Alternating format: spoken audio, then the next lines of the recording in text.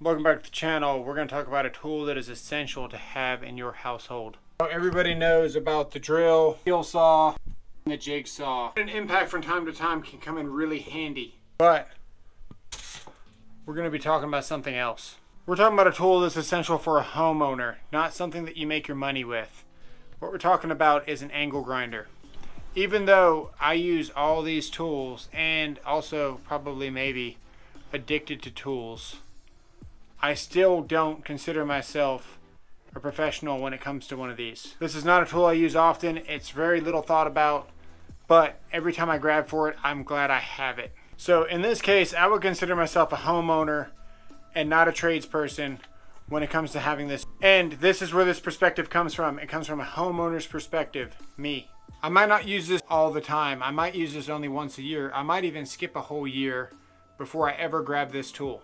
But this is one of those tools that you want to take your time, go find a deal, and have it before you need it. I've done a couple of projects from time to time, cutting some metal bars for my father-in-law, making a riving knife for my table saw, different things like that with this grinder. Sure, a lot of tools can cut a lot of metal, but something a grinder can do better than any other tool is cut stainless steel. Recently, I was at my neighbor's and they needed to cut an opening into this closed hook. Well, now it's a hook.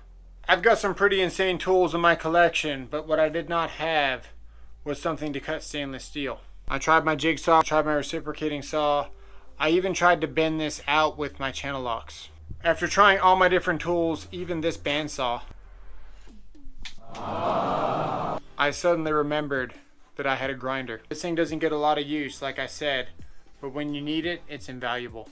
This is one of those tools that you can take your time finding, get a good deal on. It doesn't have to be the most powerful. I've had this grinder since 2012. It's brushed, it's not the fuel version, and it doesn't have a whole lot of power, but it still gets the job done. We need to cut an opening in this to hang a punching bag, and this was the tool for the job. This abrasive metal cutoff wheel made quick work of this stainless steel hook. Don't forget to wear gloves because this gets hot. Make sure you're not throwing your sparks on anything that could combust. Wear hearing protection and safety glasses, maybe even a face shield. Make sure you're wearing closed toe shoes as well. And for good measure, make sure you have a fire extinguisher close by. With all that in place, you're ready to start cutting. But you can't start cutting unless you have one of these. So go to the store and go get one. Remember, it doesn't have to be the most powerful. This thing is an absolute piece of garbage, but it gets the job done that I need. I don't use it often, and I don't need anything else. So let me know what you think in the comments below. How often do you use your angle grinder as a homeowner? And remember, I don't use one of these often, so you guys leave in the comments below as well what works good for cutting what materials. What kind of wheels do you like to use? What's the thickness? I'm really curious to know.